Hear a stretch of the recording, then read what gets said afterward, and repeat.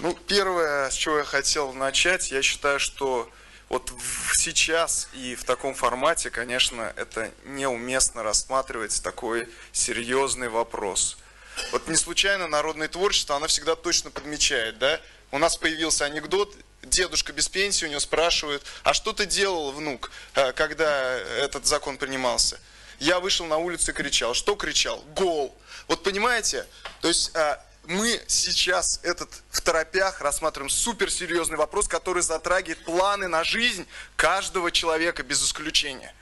И это надо обсуждать более того, не только осенью хотя бы, когда все будут э, действительно серьезно этим заниматься, но и в формате, я считаю, референдума, чтобы каждый человек свою позицию здесь обозначил. Второе.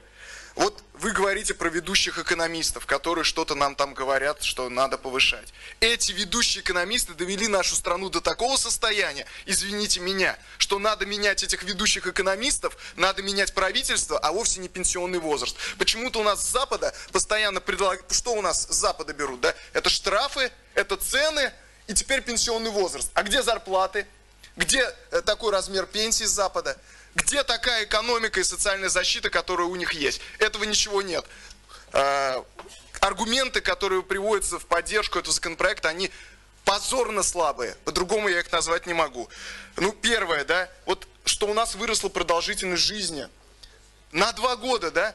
Ну, смотрите, в Советском Союзе, вы сами проводили цифры здесь с 30-х годов, когда эта планка была установлена, в Советском Союзе продолжительность жизни выросла на 30 лет на 30 лет. Но никто не сказал, что надо повысить пенсионный возраст. А здесь на 2 года, а повышать, э, значит, подсоветское правительство их достижения, то под вопросом. И повышать хотят на 5 и 8 лет.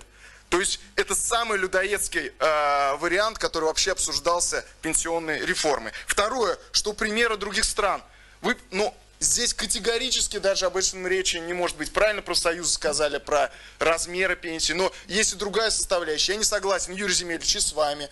Я не, со, не согласен с представителем пенсионного фонда касательно того, что мы должны обсуждать только возраст дожития. Извините меня, люди, которые платили в пенсионный фонд в России и не дожили до пенсии, эти деньги же в пенсионном фонде остались. Их что, вернули семье? Как мы не можем это обсуждать? Мы должны это обсуждать. И если говорить о возрасте выхода на пенсию и средней продолжительность жизни тех стран, которые нам приводят, например, Япония, Германия, там, э, Италия, но там все равно возраст жизни мужчины, он на 14 лет больше, чем э, возраст выхода на пенсию, средняя продолжительность жизни. Понимаете? То есть, а у нас 43%, про которые вы говорили, это с учетом того, что будет поднята эта планка в проекте реформы. Да, есть расчеты, что 43% тогда мужчин не доживут. Сегодня у нас по оценке Всемирной организации здравоохранения средняя продолжительность жизни 65 лет. Вы это знаете у мужчин. Э, следующее, про рост пенсий, который тоже в качестве аргумента. 12 тысяч в год прибавится по тысяче в месяц, а потеряет за каждый год человек, э, который, э, он мог бы получать пенсию, 170 тысяч рублей в год. Ну как это вообще можно сравнивать и аргумент такой проводить? И нельзя, здесь сильнейшая аргументация. Первое, при такой продолжительности жизни нельзя. Нельзя при отсутствии экономического роста – которые нам обеспечили ваши ведущие экономисты.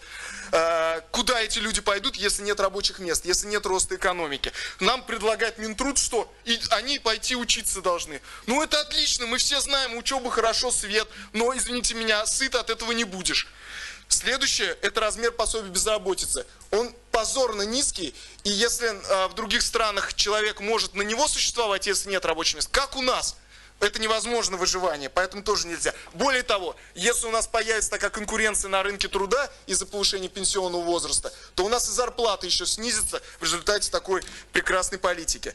У нас есть конкретные предложения, что делать, как избежать этой ситуации. Первое – это отказ, отказ от регрессивной шкалы платежей пенсионный фонд. Я сегодня спрашивал про это, не случайно, что у нас с больших зарплат платят меньше, чем э, с маленьких. Но это абсурд. Это абсурд, это несправедливейшая вещь, и э, это никто не хочет исправлять, зато нам предлагают пенсионный возраст повышать. Второе – это прогрессивное налогообложение. Об этом тоже сегодня сказали. То есть во всем мире, кстати, во всех развитых странах, без исключения, прогрессивная шкала налогообложения. Когда сверхбогатые платят больше, чем люди со средним достатком, а бедные вообще не платят. У нас же, получается, и нянечка олигарх платит 13%. А мы потом спрашиваем, где деньги. Вот они где. И можно обойтись без всякого повышения пенсионного возраста. И третье, это, конечно, наведение порядка с экспортом природных ресурсов. Вы знаете, что они продают по одной цене фирме прокладки, потом там перепродают на мировом рынке совершенно по другим ценам. Идет оптимизация налогов. Эти налоги, также они бы... Каждый из этих мер, каждый из этих мер, которые мы перечисляем, может решить эту проблему. А вместе они позволят и увеличить пенсии, и увеличить еще зарплаты в нашей стране. А профсоюзам я хочу обратиться. Вот за 27 лет постсоветского периода, да, ну хоть раз вы не просто скажите, вы объявите это забастовку, если вы действительно против, для чего вас создавали, защитите людей. Вы же видите, как правительство упорно пытается продавить эту инициативу. Защитите людей, хоть раз покажите, что у профсоюза не игрушечная, а настоящая.